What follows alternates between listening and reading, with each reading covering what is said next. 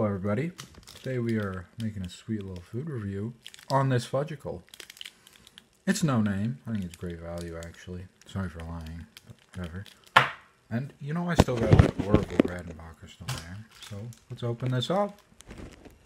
Yeah. You can look at that popcorn. I'm joking. Oh,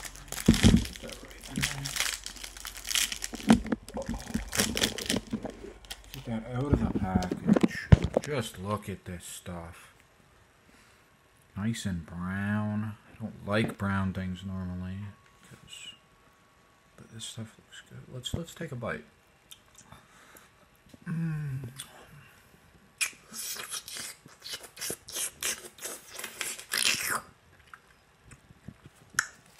Very chocolatey. Very chocolatey.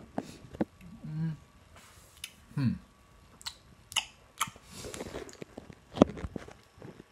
Very good. Let's. What are we rating this? Solid 6.9 out of 10. Would recommend the great value Fudgsicles